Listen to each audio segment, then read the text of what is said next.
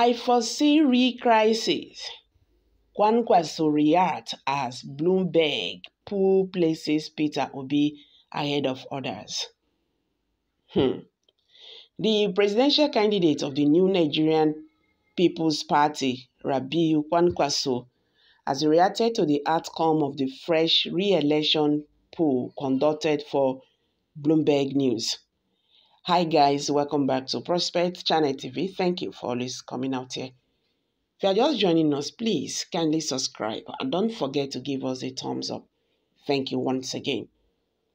The presidential candidate of the New Nigerian People's Party, Rabiu Kwankwaso, has reacted to the outcome of the fresh pre-election poll conducted for Bloomberg News. It will be recorded that the poll, which was conducted, shows that Peter Obi was the preferred candidate for the presidency, beating the likes of Atiku Abubakar, Bola Tinubu, and even Kwankwaso himself. Speaking in an interview with Channels TV, the former Kano state governor argued that the outcome of the polls is very dangerous to the country and that security agencies should take note of it. What they are doing is very dangerous to this country, and I want the security agencies, the federal government, and all those concerned to take note of it. When Muhammadu Buhari started in 2003 in northern Nigeria, everybody was going to vote for Buhari to the extent that I lost my seat mainly because of that wind people voted in Kano, which think that everybody in this country was voting for Muhammad Buhari. And once somebody was announced, those people will go out on the streets, burning tires, killing people, and destroying properties because they thought everybody in the country was voting for Buhari. So many things happened in the northern Nigeria, especially in the northwest. Rabiu Kwankwaso noted that if care is not taken, what happened in the north when Buhari lost may likely repeat itself if the presidential candidate of the Labour Party, Peter Obi, does not emerge as a winner. He said there may be a real crisis at the end of the day if someone else is declared as a winner of the election. Now, a similar scenario is trying to rear its head again. Now that people are bringing fake figures. This is number one. This is number two. And is our opinion that people, paper should be upside down. Now the dust is settled.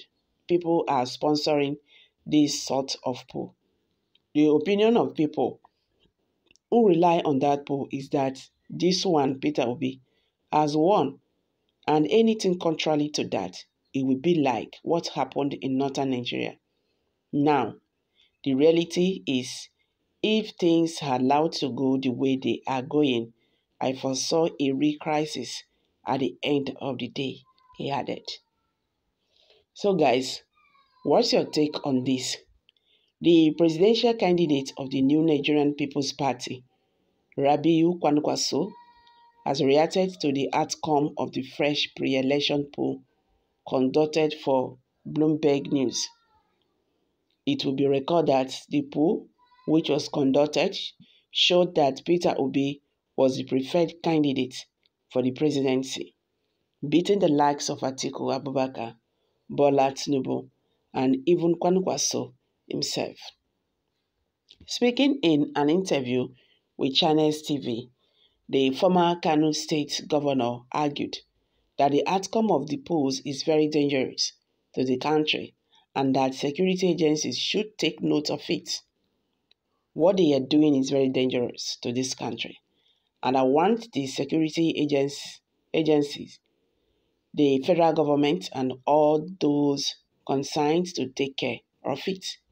When Muhammad Buhari started in 2003 in northern Nigeria, everybody was going to vote for Buhari to the extent that I lost my seat mainly because of that wind. people voting in Kano will think that everybody in this country was voting for Muhammad Buhari. And once somebody was announced, those people will go out on the street, burning tires, killing people, and destroying properties because they thought everybody in this country was voting for Buhari. So many things happened in the north, in the northern Nigeria, especially in the southwest. Rabiu Kwankwaso noted that if care is not taken, what happened in the north when Buhari lost may likely repeat itself. If the presidential candidate of the Labour Party, Peter Obi, does not emerge as the winner, he said there may be a real crisis at the end of the day if someone else is declared as the winner of the election. Now, a similar scenario is trying to rear its head again now that people are bringing fake figures. That is number one.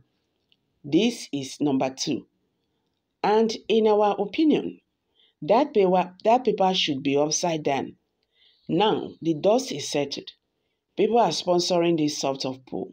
The opinion of people who really who rely on that poll is that this one, Peter Obi, has won, and anything contrary to that, it will be like what happened in the northern Nigeria.